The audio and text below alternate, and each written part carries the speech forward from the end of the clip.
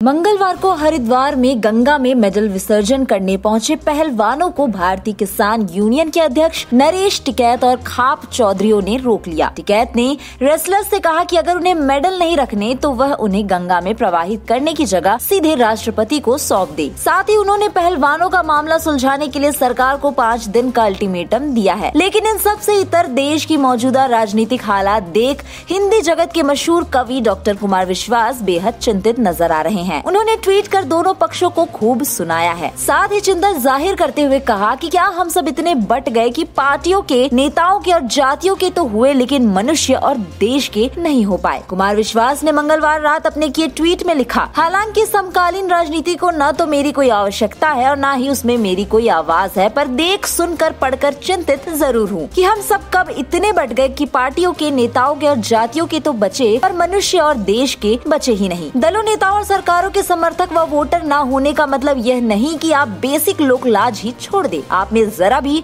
संवेदनशीलता न बचे। आप एंकर है, आप प्रवक्ता है, आप नेतागण है, या आप स्वयं महिला है। कम से कम आप सब तो इतनी गैर जिम्मेदार व बेशरम बातें सार्वजनिक पटल पर मत करो। थोड़ी तो शर्म करो यार, बहुत मुश्किल से मिली है ये स्वतंत्रता। इसे शर्मसार मत करो। ज़ाहिर सी बात है, बीते दिनों देश में जैसे हालात बने हैं, उसे देखकर कोई भी सभ्य समाज दुखी ही होगा। क्यूँकी अब दोनों तरफ़ ऐसी भाषा की मर्यादा लांघी जा रही है। एक दूसरे का सम्मान करना, जैसे मानो लोग भूल ही गए हो, न किसी में कोई संवेदनशीलता बची है, न कुछ। बस सब अपनी अपनी पार्टी और नेता को खुश करने में लगे हुए हैं। बता दें कि बीते दिनों ही कुमार विश्वास ने गोली मारने की बात करने वाले आईपीएस अधिकारी को भाषा का पाठ पढ़ाया था, जिसके बाद आईपीएस एनसीएस थाना को अपना वो ट्वीट डिलीट करना पड़ा था। दोस्तों, आप इस मामले में क्या सोचते हैं, हमें अपनी राय कॉमेंट बॉक्स में ज़रूर बताएँ। साथ ही वीडियो अगर पसंद आया हो तो इसे लाइक और शेयर करना ना भूले।